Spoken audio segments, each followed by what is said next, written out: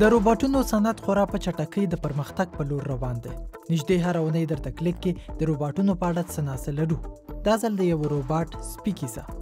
هټاچي شرکت لخوا دغه سپي ته ورته روباټ په داسې بڼه جوړ شوی چې په پخلنځي او د کور په نورو برخو کې در سره مرسته کوي که مو د یخچال دروازه پرانیستې پریښې وي او یا مو ماشین د جامو وینځل ختم کړي وي نو دا روباټ په غپا خبرداری درکوي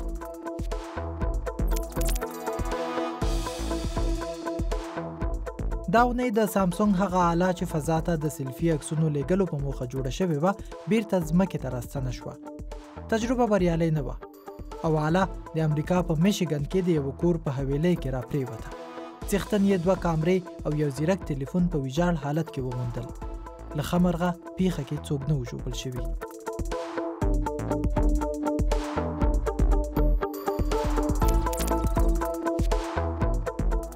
جاپان کې د نړۍ یو تر ټولو لوی سوداګریز نندارتون سیټیک کې سونی د روغتیا خپل نوې آلې نندارې ته وړاندې کړې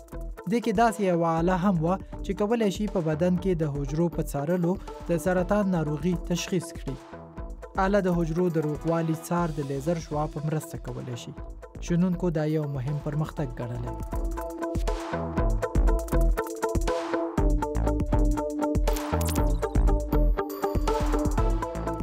او یو امریکایي شرکت داسې عینکې جوړې کړي چې کولی شي د لوست پر مهال مو پام زیات کړي د نوربیس په نوم دغه عینکې کولی شي د لوستونکي د مغزو حرکات وڅاري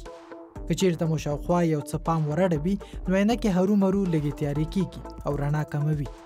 عینکې به د روان کال دسمبر کې بازار ته وړاندې شي خو ډیرو ته به ارزانه نه وي